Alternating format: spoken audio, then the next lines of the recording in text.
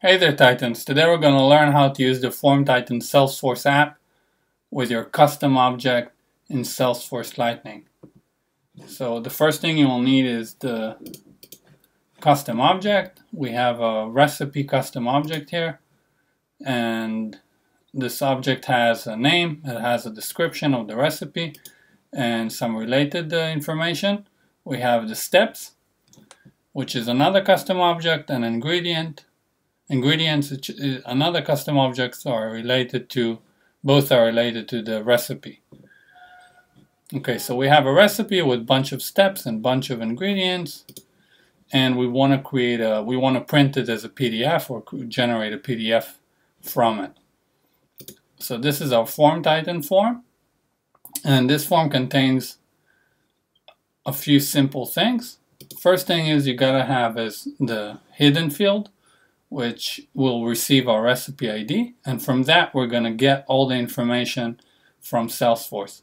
So we have the name, we map the name of the of the recipe and the description, and we have repeated sections, one for the steps and one for the ingredients. Let's take a quick look at our get from Salesforce. So we're getting the recipe by the record ID which is equal to our recipe hidden field. And then we're mapping the information into our form. So we have the recipe name and we have the description. Take a look at the ingredient. So we're getting all the ingredients that in that relate that that's related into our recipe. And same for the steps. Let's look at our push. So we're telling Form Titan to push a PDF when, once it's done generating to push a PDF into our recipe ID, into our recipe um, that was mapped into the form and we map it by the recipe ID. Okay, let's take a look at the PDF mapping. So here we have a dynamic PDF which is um, based off of an HTML template, um, just like as you can see here. And we mapped all the information from our form into our PDF and repeated sections are done by tables. And we have a table for the ingredients and a table for the steps. And that's it. Now let's see how it looks like. Let's publish the form so it comes out empty because I didn't pass any variable. So let's pass in the, the recipe ID and we get the information from Salesforce. Let's submit this and we have our beautiful PDF. Now we want to do this from within Salesforce in Lightning environment. Let's see how we do it. So what we want to end up with is a button here. Once we click it, it will do the PDF generation for us. So let's head over to our PDF mapping. We'll go to settings. We'll go to Salesforce button, hit configure. First, we'll need to configure the object that we're working with, which is a recipe. Second thing is we need to tell Form Titan what is the record ID that we're base, basing our gets from. In our case, it's a recipe ID, FLD number 8. And let's hit here lightning and see what it says. Gives us a bunch of instructions. Let's see how we do it. Okay. Let's head over to setup. Object Manager.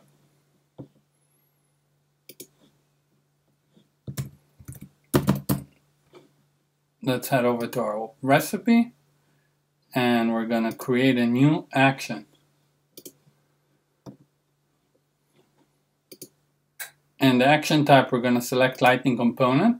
And we have a Lightning Component from Form Titan. It comes with the Form Titan App Exchange app. Let's set a height. This is what we need to select. That's the only thing I have here right now. But if you have more, that's the one you got to select. So let's give it 800 pixels and Let's call this print recipe. We save this. Head back to our object manager, recipe object, and let's add it to the layout. Edit the layout. And we're looking for mobile and lightning actions, print recipe. Let's drag it down, save this. Let's go back to our challah recipe. Hit print. And we get this error. Let's see what we missed. So we have to head over to our, we don't have, we currently don't have permission to submit the PDF from Salesforce. So what we got to do, we got to go into collaborators, add collaborators from Salesforce. We hit search users. This is my user. Hit next. Now I got to give uh, permission for me to submit the form from Salesforce. Apply.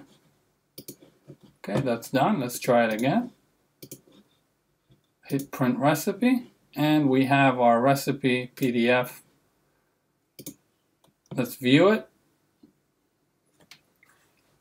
From the view from the view window, you can either print or download into your computer. And if you hit generate, then it will push the PDF into your recipe object. It will come in in a minute in the notes and attachments. Meanwhile, let's take a look how to, let's say we want to print multiple recipes from the list view. So let's say we want to have a button here, print multiple receipts, uh, recipes. Okay, so we have a manual from FormTitan.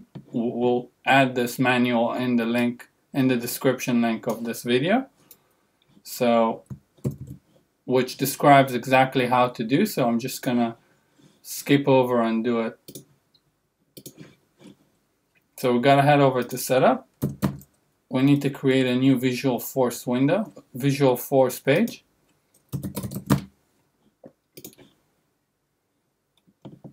Let's just delete this. All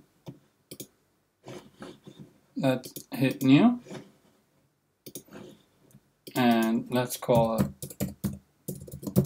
multi-print PDF and we paste in the code that we took from the Form Titan manual. Now the only thing that we got to change is the standard controller, which we basically telling Salesforce we are working with the recipe object. We need to paste in the API name, which is recipe 2 underscore C. Let's paste it over here. And save the window, save the, the visual force.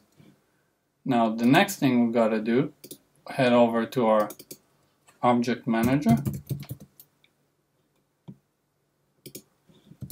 Go to our recipe object.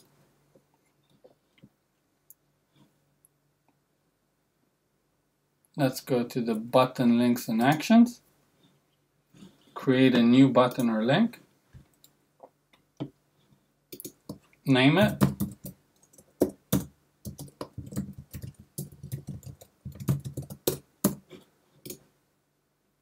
we need to select the list button and we're telling Salesforce that the content source will be a Visual Force page. We select our multi-print page, multi-print PDF we just created, we hit save and that's it. The only thing you gotta you gotta do is just add it to your layout. We need to go to our search layout, list view, edit, and add the multi-print lightning button we just created into our layout. Let's see how it does. So I'm just going to refresh the list view. And as we can see, we have a new button here. It says multi-print lightning. Let's hit it. we got an error. We have to, se to select at least one record. Let's go back, select both records, and generate.